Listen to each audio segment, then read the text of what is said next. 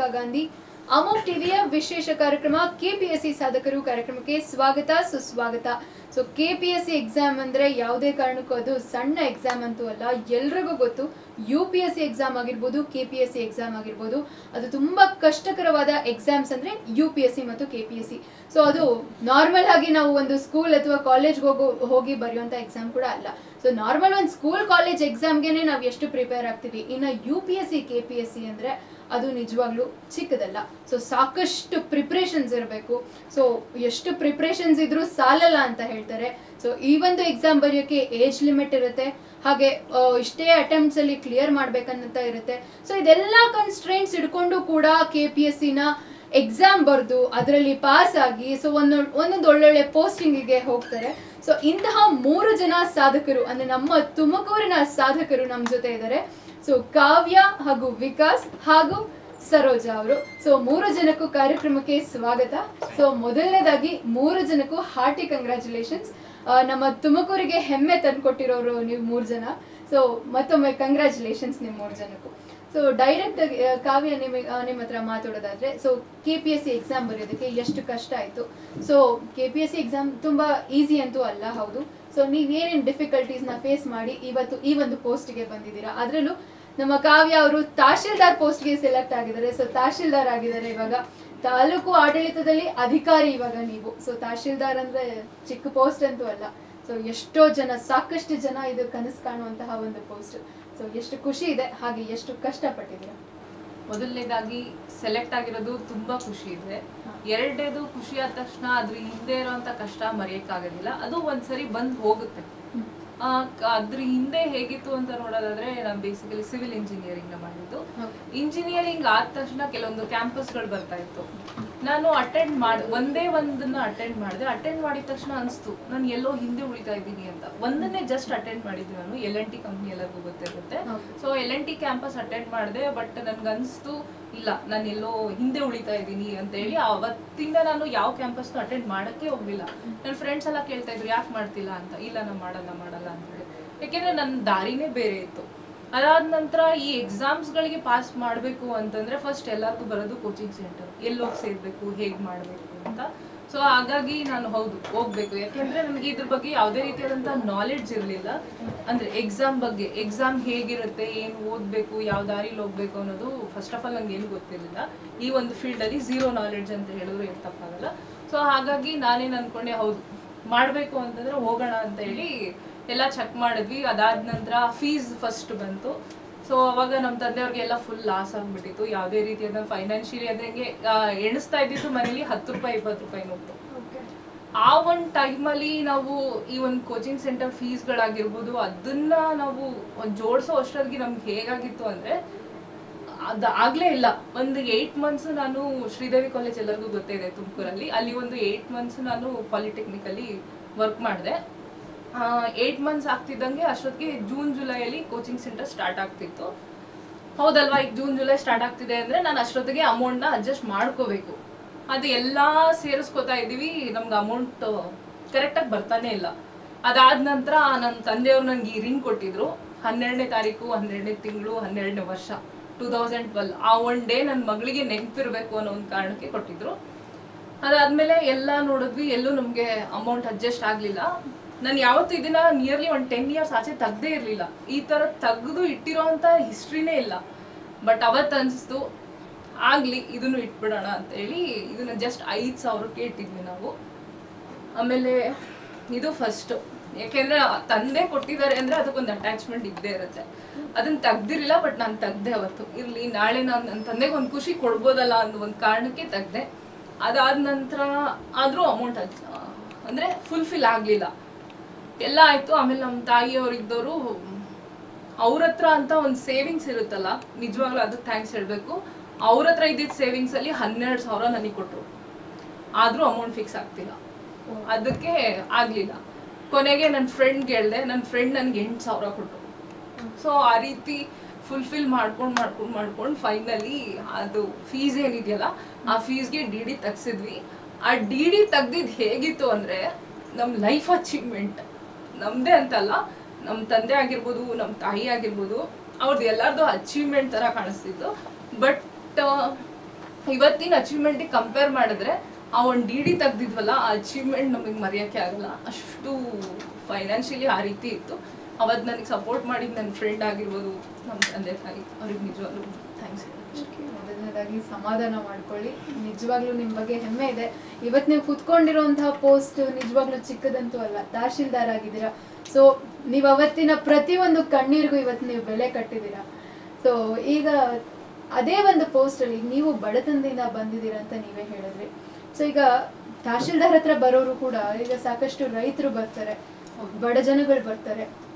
ಎಷ್ಟೋ ಕೆಲಸ ಇರುತ್ತೆ ತಹಶೀಲ್ದಾರ್ ಹತ್ರ ಬರ್ತಾರೆ. ಸೊ ಆಗ ಈಗಿನ ಕಾಲದಲ್ಲಿ ನೋಡಿದ್ರೆ ಎಲ್ಲ ಕಡೆ ಲಂಚ ಲಂಚ ಲಂಚ ಎಲ್ ನೋಡಿದ್ರು ಲಂಚ.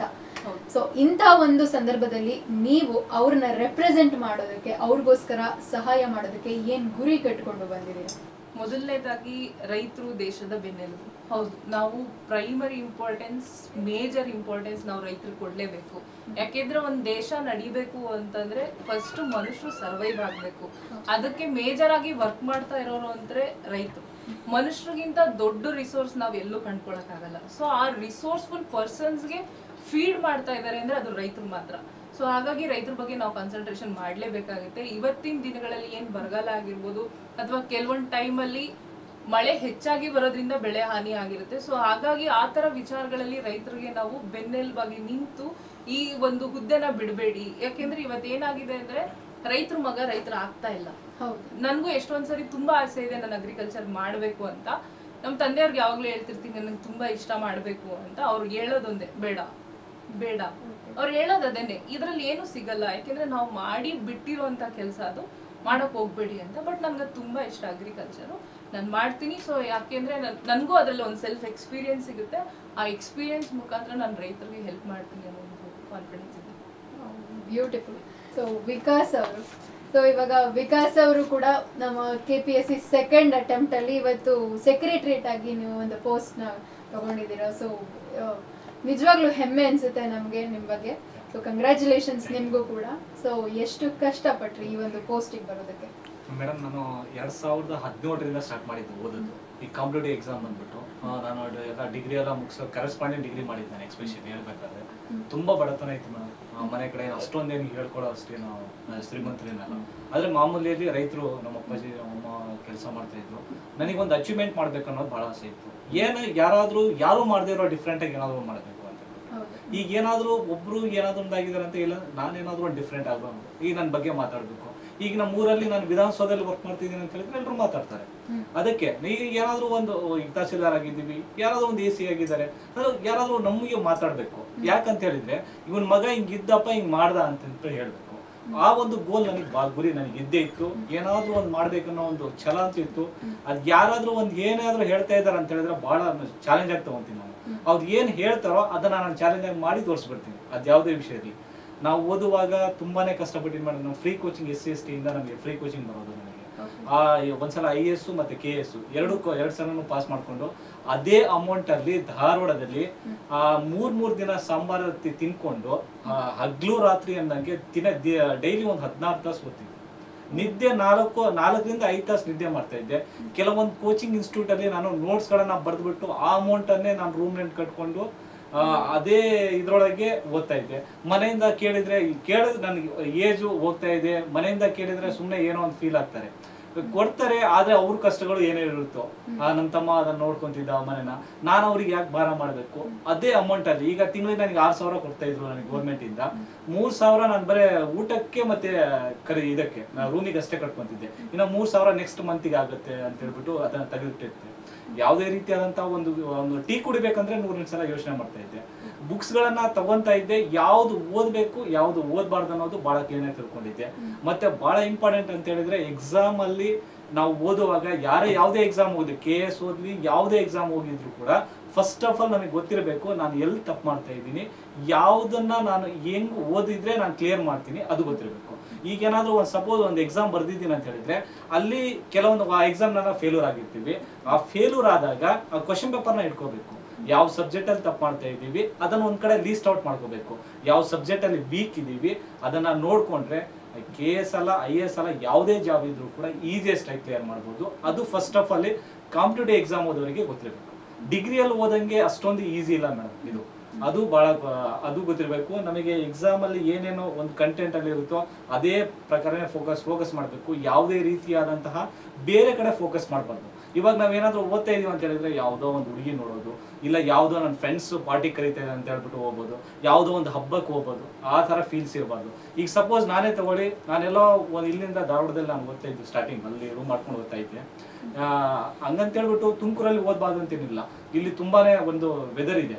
ಒಳ್ಳೆ ಓದೋ ವೆದರ್ ಇದೆ. ಯಾಕಂದ್ರೆ ಎಸ್ಪೆಷಲಿ ಇಲ್ಲಿ ಸರ್ ಸಿದ್ಧಗಂಗಾ ಅಕಾಡೆಮಿ ಇನ್ಸ್ಟಿಟ್ಯೂಟ್ ಮಾಡಿರೋದ್ರಿಂದ ಸ್ವಾಮೀಜಿ ಅವರ ಆಶೀರ್ವಾದದಿಂದ ಸರ್, ತುಂಬಾ ಜನ ನಾನೇ ನೋಡ್ತೀನಲ್ಲ ಹಾರ್ಟ್ಲಿ ಅವ್ರು ತುಂಬಾನೇ ಒಂದು ಸಪೋರ್ಟ್ ಮಾಡ್ತಾ ಇರ್ತಾರೆ ಈ ಸಿದ್ಧಗಂಗಾ ಅಕಾಡೆಮಿಯಲ್ಲಿ. ಈಗ ಅಲ್ಲಿ ಇಲ್ಲಿ ಪಿ ಜಿ ವ್ಯವಸ್ಥೆ ಕೂಡ ಇದೆ, ಅದೇ ರೀತಿ ಲೈಬ್ರರಿ ವ್ಯವಸ್ಥೆ ಇದೆ. ನಮಗೆ ಇಲ್ಲೆಲ್ಲ ನಮಗೆ ಗೊತ್ತಿದ್ದಿಲ್ಲ. ಅವಾಗ ನಾನು ಧಾರವಾಡ ಕುತ್ಕೊಂಡು ನಾನು ಅಲ್ಲಿ ಹೋದಾಗ, ಅಲ್ಲಿ ತುಂಬಾನೇ ಕಷ್ಟ ಇತ್ತು ಮೇಡಮ್ ಅಲ್ಲಿ. ಯಾರು ನಮ್ಮನ್ನ ಕೇಳೋರಿಲ್ಲ, ಯಾರು ಏನು ಮಾಡಲ್ಲ. ನಾನು ನಾನ್ನೂರ ಐವತ್ತು ಕಿಲೋಮೀಟರ್ ನಮ್ಮೂರಿಂದ ಹೋಗಿನಿ ಅಂದ್ರೆ, ನಮ್ಮ ಅಪ್ಪಾಜಿ, ಅಮ್ಮ ನನಗೆ ಫೋನ್ ಮಾಡ್ತೀನಿ ನಾನು ವಾರಕ್ಕೆ ಒಂದ್ಸಲ ಫೋನ್ ಮಾಡ್ತಿದ್ದೆ ಮನೆಗೆ.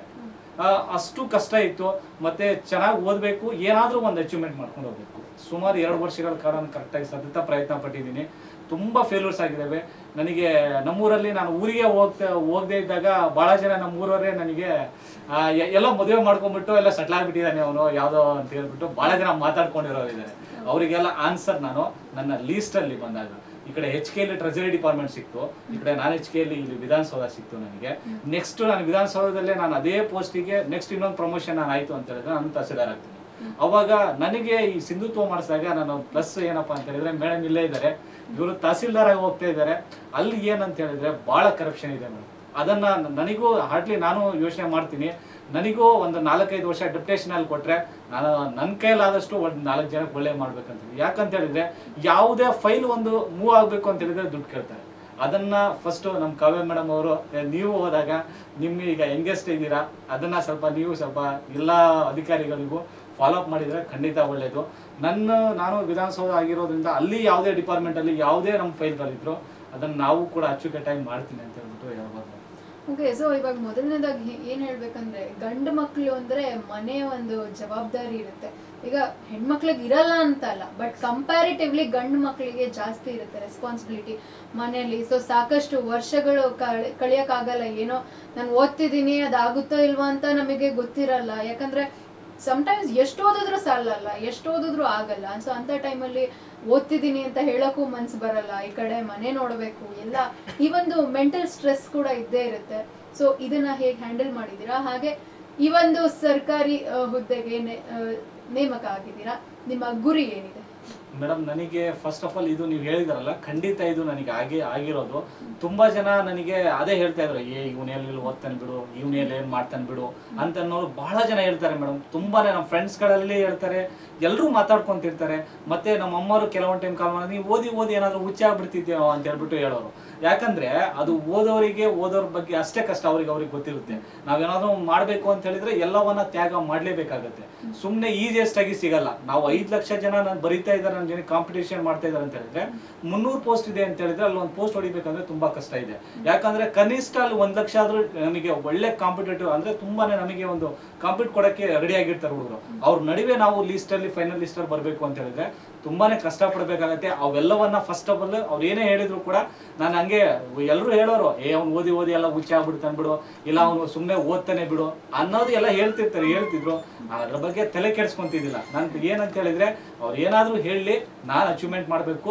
ಅಚೀವ್ಮೆಂಟ್ ಮಾಡಿ ನನ್ನ ಲೀಸ್ಟಲ್ಲಿ ಹೆಸರು ಬಂದಾಗ ನನ್ನ ಸ್ಟೇಟಸ್ ಅಲ್ಲಿ ಹಾಕಿದ್ರೆ ಅವರೇ ಕಂಗ್ರಾಚುಲೇಷನ್ ಅಂತ ಹೇಳ್ತಾರೆ ಅಂತ ಹೇಳ್ಬಿಟ್ಟು ನನಗೆ ನನ್ನ ಮನ್ಸಿಗೆ ನಾನೇ ಅನ್ಕೊಂತಿದ್ದೆ. ನಾನು ಅಷ್ಟೇ ನನ್ನ ವರ್ಕ್ ಅಷ್ಟೇ ಮಾಡ್ತಾ ಇದ್ದೆ.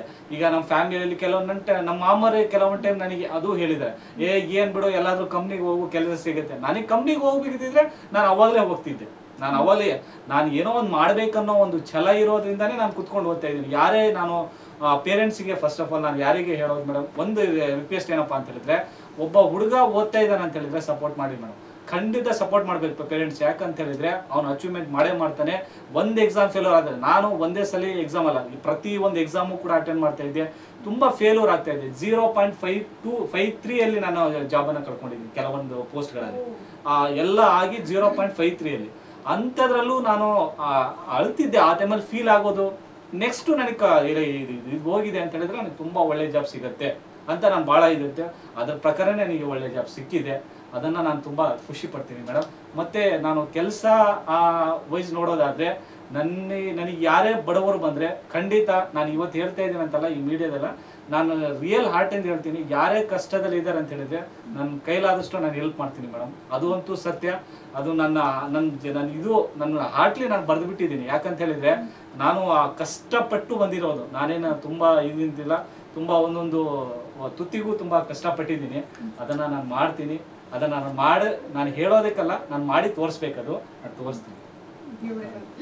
ತುಂಬಾ ಒಳ್ಳೊಳ್ಳೆ ಮಾತು ಹೇಳಿದ್ರಿ, ನಿಜವಾಗ್ಲೂ ಸಾಕಷ್ಟು ಜನಕ್ಕೆ ಸ್ಫೂರ್ತಿ ಆಗ್ತೀರಾ ಸೊ ಹಾಗೆ ಸರೋಜ ಅವರು ಕೂಡ ಸೆಕೆಂಡ್ ಅಟೆಂಪ್ಟ್ ಅಲ್ಲಿ ಇವಾಗ K P S C clear ಮಾಡಿ ಎಜುಕೇಶನ್ ಡಿಪಾರ್ಟ್ಮೆಂಟ್ ಅನ್ನೋ ಒಂದು ಪೋಸ್ಟ್ಗೆ ಸೆಲೆಕ್ಟ್ ಆಗಿದ್ದೀರಾ. ಹಾಗೆ ನಿಮಗೂ ಕೂಡ ಮತ್ತೊಮ್ಮೆ ಹಾರ್ಟಿ ಕಂಗ್ರ್ಯಾಚುಲೇಷನ್ಸ್ ಸೊ ಈ ಒಂದು ಪೋಸ್ಟಿಗೆ ಬರೋದಕ್ಕೆ ಎಷ್ಟು ಕಷ್ಟ ಆಯ್ತು ಸರೋಜ ನಿಮ್ಗೆ?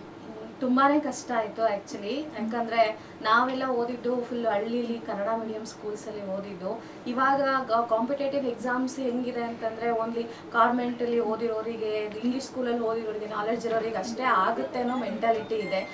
ಕನ್ನಡ ಮೀಡಿಯಂ ಸ್ಟೂಡೆಂಟ್ಸಿಗೆ ಅಂತಂದ್ರೆ ಅವರಿಗೆ ಅಲ್ಲಿ ಟೀಚರ್ಸ್ ಆಕ್ಚುಲಿ ಇದು ನಾನು ಎಜುಕೇಶನ್ ಡಿಪಾರ್ಟ್ಮೆಂಟ್ ಅಲ್ಲಿ ಇರೋದ್ರಿಂದ, ಅಂದ್ರೆ ಸೆಲೆಕ್ಟ್ ಆಗಿರೋದ್ರಿಂದ ಹೇಳ್ತಾ ಇದ್ದೀನಿ.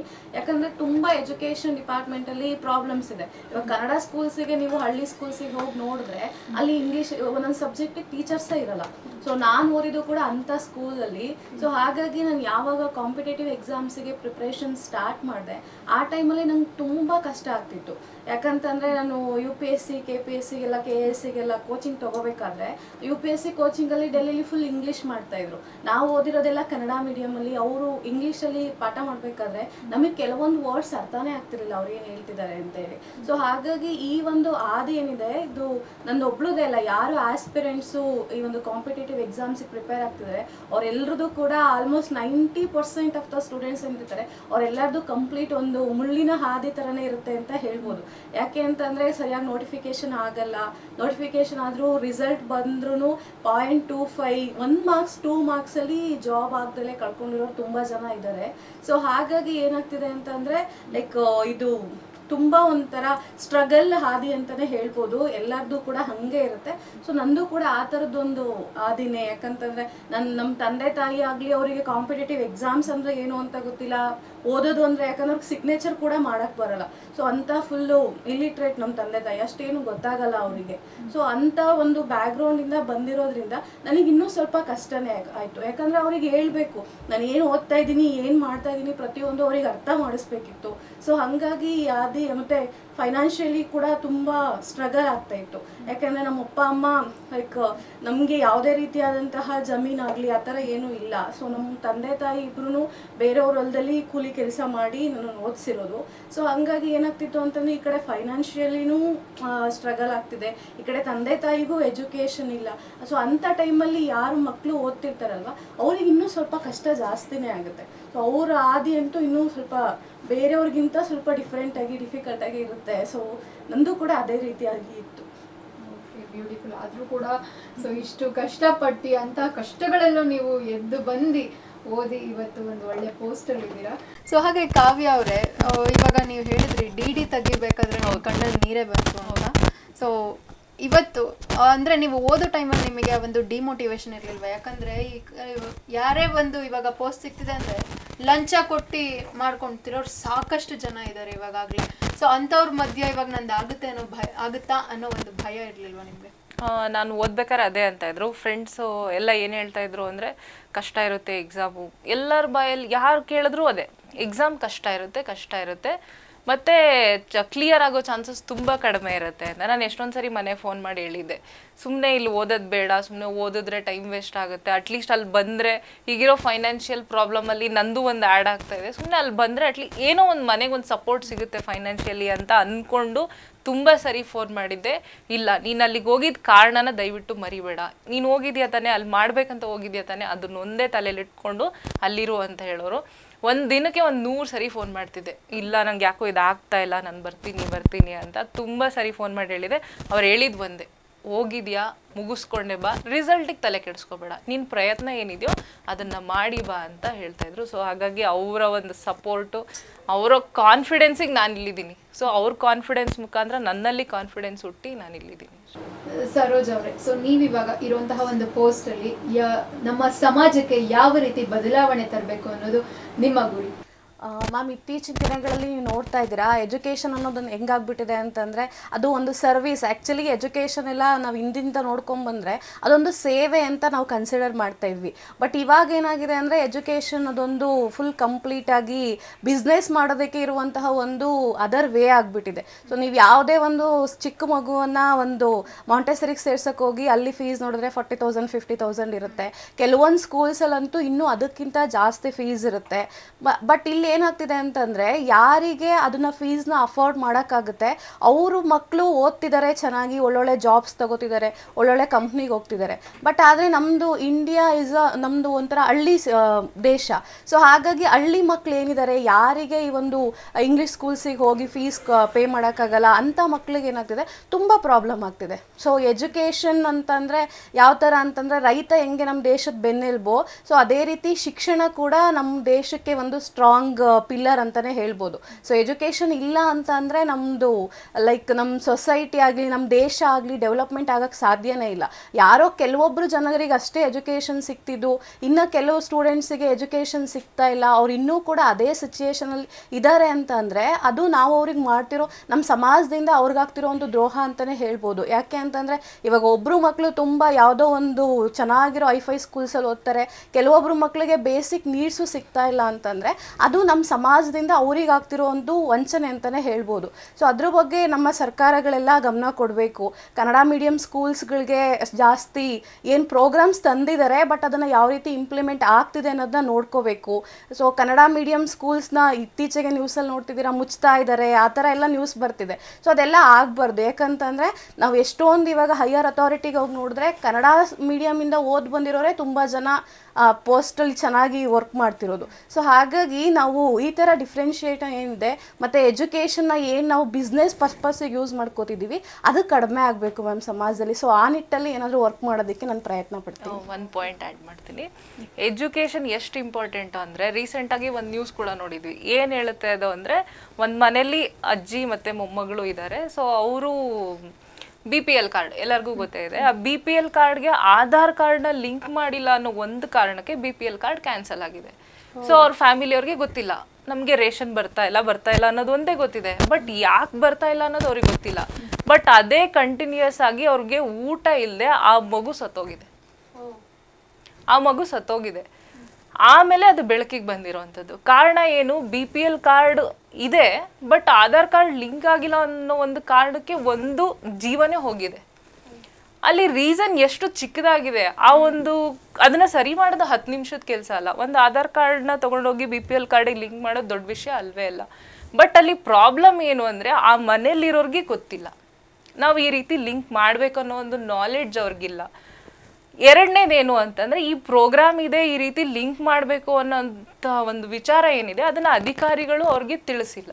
ಇಲ್ಲಿ ಎರಡು ಪ್ರಾಬ್ಲಮ್ಗಳನ್ನ ನಾವು ನೋಡ್ಬೋದು. ಶಿಕ್ಷಣ ಎಷ್ಟು ಇಂಪಾರ್ಟೆಂಟ್ ಆಗುತ್ತೆ ಅಂತಂದ್ರೆ, ಇಲ್ಲಿ ಆ ಫ್ಯಾಮಿಲಿಗೆ ಶಿಕ್ಷಣ ಇಲ್ದಲೇ ಒಂದು ಮಗು ಸತ್ತಿದೆ.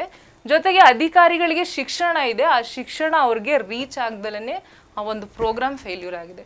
ಸೊ ಹಾಗಾಗಿ ಶಿಕ್ಷಣ ಕಲ್ತಿರೋರು ಅದನ್ನು ಸ್ಪ್ರೆಡ್ ಮಾಡಿ ಹಾಗಾಗಿ ಮತ್ತು ಯಾರ್ಯಾಗ ಶಿಕ್ಷಣ ಇಲ್ಲ ಇವತ್ತು ಓದು ಅಂದರೆ ಎಲ್ಲರೂ ಡಿಗ್ರಿ ತಗೋಬೇಕು ಅಂತಲ್ಲ ಅಟ್ಲೀಸ್ಟ್ ಅವ್ರ ಸುತ್ತ ಏನಿದೆ ಅದನ್ನು ತಿಳ್ಕೊಳ್ಳೋ ಶಕ್ತಿಗೋಸ್ಕರನಾದರೂ ಶಕ್ತಿಗೋಸ್ಕರನಾದ್ರೂ ಶಿಕ್ಷಣನ ಕೊಡಿಸ್ಬೇಕು. ಸೊ ಹಾಗಾಗಿ ಎಜುಕೇಷನ್ ಡಿಪಾರ್ಟ್ಮೆಂಟಲ್ಲಿ ಮೇಡಮ್ ಏನಾದರೂ ಒಂದು ಹೊಸದನ್ನು ತರಬೇಕು ಅಂತ ಇಷ್ಟಪಡ್ತೀನಿ. ನಿಜವಾಗ್ಲೂ ಇದು ಎಷ್ಟು ಅಂದರೆ ತುಂಬಾ ಬೇಜಾರಾಗುವಂಥ ವಿಷಯ. ಒಂದು ಲಿಂಕ್ ಆಗಿಲ್ಲ ಅನ್ನೋ ಒಂದು ವಿಷಯಕ್ಕೆ ಒಂದು ಮಗು ಸತ್ತೋಗಿದೆ ಅಂದ್ರೆ ಈಗ ಒಂದು ಫ್ಯಾಮಿಲಿ ಅಂದ್ರೆ ಒಬ್ರು ಪ್ರೆಸೆನ್ಸ್ ಎಷ್ಟು ಇಂಪಾರ್ಟೆಂಟ್ ಆಗುತ್ತೆ. ಅವರು ವರ್ಕಿಂಗ್ ಅವ್ರ non working is different but presence of that person is very important ಈಗ ಆ ಮಗು ಸತ್ತೋಗಿದೆ ಅಂದ್ರೆ there is no other reason ಆ ಒಂದು ಅಜ್ಜಿಗೆ ಬದುಕೋಕೆ ಯಾವುದೇ ಒಂದು ರೀಸನ್ ಇರೋದಿಲ್ಲ. ಅವ್ರು ಬದುಕಿದ ಕಾರಣ ಏನು?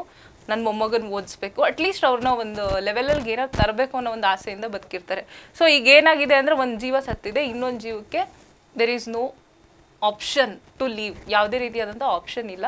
ಸೊ ಇಷ್ಟು ಚಿಕ್ಕ ಮಿಸ್ಟೇಕ್ಸಿಂದ ಈ ರೀತಿ ದೊಡ್ಡ ದೊಡ್ಡ ಕಾರಣಗಳು ಆಗುತ್ತೆ. ಹಾಗಾಗಿ ಅಧಿಕಾರಿಗಳು ಕೂಡ ಇದ್ರ ಬಗ್ಗೆ ಕ್ರಮ ನಾನು ಕೇಳ್ಕೊಳ್ಳೋದೇನಂದ್ರೆ ನೀವು ಮೂರ್ ಜನ ಈ ಒಂದು ಬದಲಾವಣೆನ ನಮ್ಮ ಸಮಾಜಕ್ಕೆ ತರಬೇಕು. ಯಾಕಂದ್ರೆ ಇಷ್ಟು ಈ ಒಂದು ಚಿಕ್ಕ ವಿಷಯ ಆಗಿತ್ತು ಲಿಂಕ್ ಮಾಡೋದು. ಅದರಿಂದ ಒಂದು ಪ್ರಾಣ ಹೋಗಿದೆ ಅನ್ನೋದು ನಿಜವಾಗ್ಲೂ ದೊಡ್ಡ ವಿಷಯ. ಸೊ ನೀವು ಮೂರ್ ಜನ ಮುಂದೆ ನಿಂತು ಈ ಸಮಾಜಕ್ಕೆ ನಿಜವಾಗ್ಲೂ ಒಂದು ಬದಲಾವಣೆ ತರಬೇಕು. ಸೊ ಅಧಿಕಾರಿಗಳಿಂದ ಏನ್ ಬೇಕಾದ್ರೂ ಸಾಧ್ಯ. ಸೊ ಅಧಿಕಾರಿಗಳು ಮನ್ಸ್ ಮಾಡಿದ್ರೆ ಎಷ್ಟು ಜೀವಗಳನ್ನ ಹೌದು. ಈಗ ತುಮಕೂರು ಒನ್ ಅದು ಇದು ಎಲ್ಲ ನೋಡ್ತಾ ಇರ್ತೀವಿ. ಅಲ್ಲಿ ತುಂಬಾ ನಿರ್ಲಕ್ಷ್ಯ ಮಾಡ್ತಾರೆ. ಯಾರಾದ್ರೂ ಒಂದ್ ಏನೋ ಒಂದ್ ಕೆಲಸ ಮಾಡಕ್ ಬರ್ತಿದ್ದಾರೆ ಅಂದ್ರೆ ನಿರ್ಲಕ್ಷ್ಯ. ಆಮೇಲೆ ಬನ್ನಿ. ಒನ್ ಟೂ ಅವರ್ಸ್ ಬಿಟ್ಟು ಬನ್ನಿ. ಈಗ ಲಂಚ್ ಟೈಮು ಬಟ್ ಆ ಒಂದು ಮಾತು ಅವ್ರ ಲೈಫಲ್ಲಿ ಎಷ್ಟು ಡಿಫ್ರೆನ್ಸ್ ಆಗುತ್ತೆ ಅನ್ನೋದನ್ನ ನಾವು ಅಟ್ಲೀಸ್ಟ್ ಆ ಫೀಲ್ಡ್ಗೆ ಹೋದಾಗ ಮಾತ್ರ ತಿಳ್ಕೊಳಕ್ ಸಾಧ್ಯ. ಅದ್ರ ಬಗ್ಗೆ ಎಲ್ಲರೂ ಕ್ರಮ ನೋಡ್ಕೊಳ್ಳಿ ಅಂತ ಹೇಳ್ತೀನಿ ಎಲ್ಲ ಅಧಿಕಾರಿಗಳಿಗೂ. ಯಾರನ್ನೇ ಆಗಲಿ ನಿರ್ಲಕ್ಷ್ಯ ಮಾಡಬೇಡಿ. ಈಗ ಜನರಿಂದ ನಾವು ಜನ ಇರೋದಕ್ಕೆ ನಾವು ಆ ಪೊಸಿಷನ್ಗೆ ಹೋಗ್ತೀವಿ. ಸೊ ಹಾಗಾಗಿ ಯಾರು ಸುಮ್ಮನೆ ಹೇಳಿಲ್ಲ. ಜನ ಸೇವೆ ಈಶ ಸೇವೆ ಅಂತ ಹೇಳ್ತಾರೆ. ದೇವರು ಒಂದೇ ಜನನೂ ಒಂದೇ. ಅದನ್ನ ಎಲ್ಲ ಅಧಿಕಾರಿಗಳು ತಲೆಯಲ್ಲಿ ಇಟ್ಕೋಬೇಕು. ವೆರಿ ಬ್ಯೂಟಿಫುಲ್ ಹಾಗೆ ಮತ್ತೊಮ್ಮೆ ಮೂರು ಜನಕ್ಕೆ ಕಂಗ್ರ್ಯಾಚುಲೇಷನ್ಸ್ ಹೇಳ್ತಾ ದಯವಿಟ್ಟು ನೀವು ಮೂರು ಜನ ಅಧಿಕಾರಿಗಳಾಗಿ ಮುಂದೆ ನಿಂತು ನಮ್ಮ ಸಮಾಜಕ್ಕೆ ಬದಲಾವಣೆ ತರಬೇಕು ಅನ್ನೋದು ನಮ್ಮ ಅಮೋಕ್ ಟಿವಿಯ ಕಳಕಳಿ. ಸೊ ನಾವು ಕೇಳ್ಕೊತಾ ಇದೀವಿ ನಿಮ್ಗೆ ಅಂತ ಹೇಳ್ತಾ. ಸೊ ನೋಡಿದ್ರಲ್ಲ ವೀಕ್ಷಕರೇ ಸಾಧಕರು ಅಂದ್ರೆ ನಿಜವಾಗ್ಲೂ ಅದೊಂದು ಸುಲಭವಾದ ಜರ್ನಿ ಅಲ್ಲ. ಸೊ ಸಾಕಷ್ಟು ಫ್ರಸ್ಟ್ರೇಷನ್ಸ್ ಇರುತ್ತೆ ಕಷ್ಟಗಳಿರುತ್ತೆ ನೋವಿರುತ್ತೆ ಮುಳ್ಳಿನ ಹಾದಿ ಅದು. ಸೊ ಅದೆಲ್ಲಾನು ಮೆಟ್ಟಿ ನಿಂತು ಒಬ್ಬ ಸಾಧಕ ಆಗ್ತಾನೆ. ಸೊ ಅಂತ ಸಾಧಕರು ನಮ್ಮ ನಮ್ಮ ಜೊತೆ ಇದ್ದು ಇವತ್ತು ಅವರ ಒಂದು ಹಾದಿ. ಸೊ ಅವರು ಬಂದಿರುವಂತ ಹಾದಿ ಹೇಗಿತ್ತು ಅಂತ ನಮ್ಮ ಜೊತೆ ಹೇಳ್ಕೊಂಡಿದ್ದಾರೆ. ಸೊ ಮತ್ತೊಮ್ಮೆ ಮೂರು ಜನಕ್ಕೆ ಕಂಗ್ರ್ಯಾಚುಲೇಷನ್ಸ್ ಅಂತ ಹೇಳ್ತಾ. ಸೊ ಧನ್ಯವಾದಗಳು ಮೂರು ಜನಕ್ಕೂ. ಸೊ ಮತ್ತಷ್ಟು ವಿಶೇಷ ಕಾರ್ಯಕ್ರಮಕ್ಕಾಗಿ ನೋಡ್ತಾ ಇರಿ ಅಮೋಕ್ ಟಿವಿ. ಎಂದೆಂದಿಗೂ ನಿಮ್ಮೊಂದಿಗೆ.